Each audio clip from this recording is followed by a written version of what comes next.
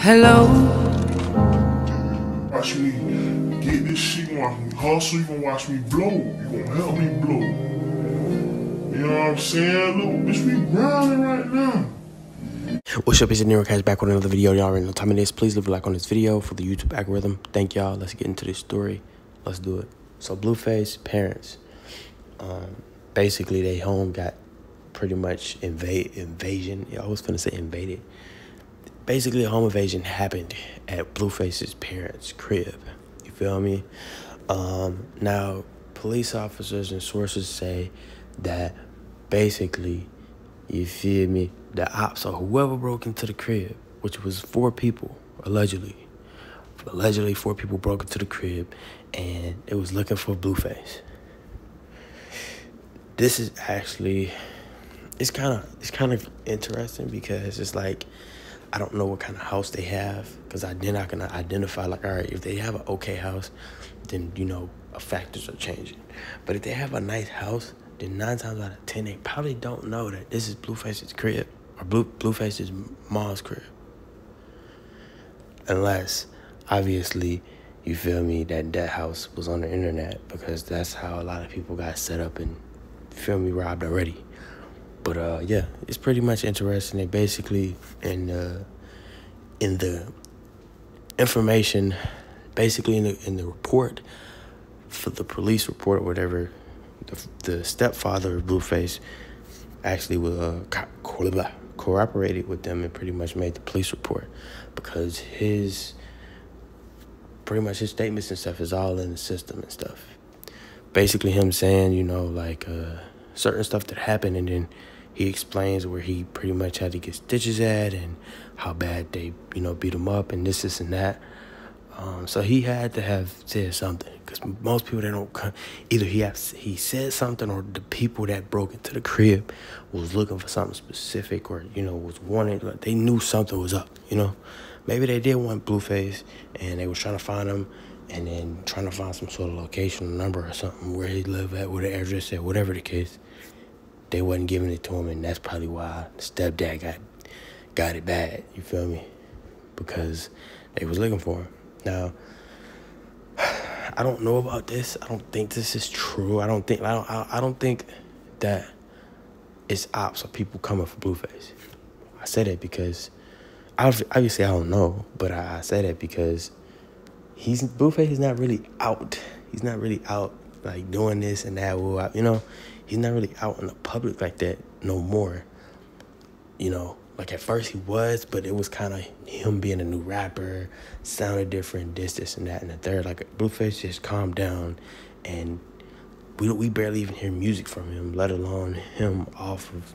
You know, we got a little interviews and this, this, and that, but other than that, we got nothing from him.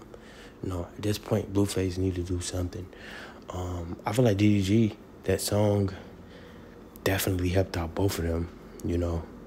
But uh, yeah, that's just like I don't know if this is because of Blueface. I honestly think they just was in a nice house, wrong timing, and people, you know, wanted to hit a lick. Honestly, that's what I think it was. Just a nice little lick. Where the money at? What a safe at? Type of vibe. We don't have a safe, or we don't have money, or we don't know the code, or something like that. And then the father, stepfather, pretty much got did worse. Got, got did it the worst way, you know that's just what I think. Um, I like to give my, you feel me, thoughts upon the situation. Y'all tell me y'all down below. Uh, but, you know, as it says, uh, as it, you feel me, says right here,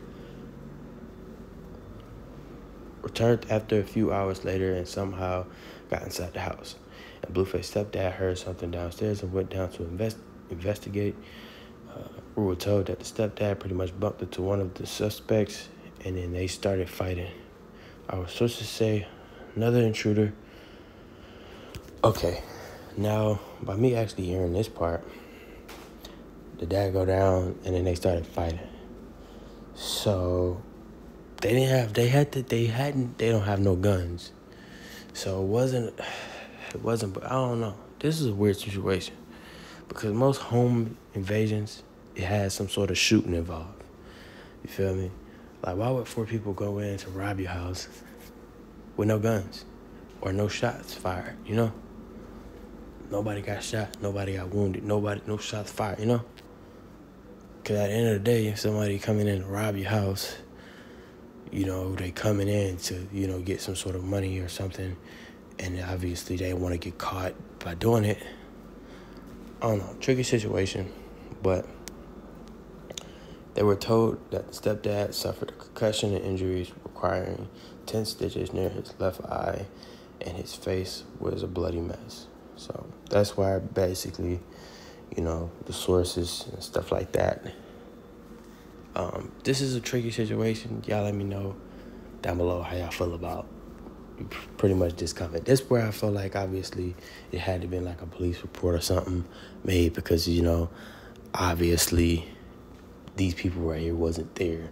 So that's why I feel like it was a police report involved. Furthermore, let's get into the next article piece.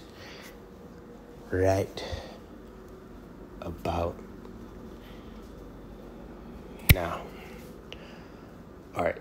So let's just say that four suspects fled and Blueface's family then called the police who brought the stepdad to the hospital for treatment.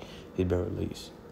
Uh, second police report was filed, and that's when they got all the other careful clarity, uh, pretty much on the situation. But y'all let me know how you feel about the situation and actually what happened, y'all thoughts, whatever y'all want to talk about or whatever the case. Leave a like on this video. Blah, blah, blah.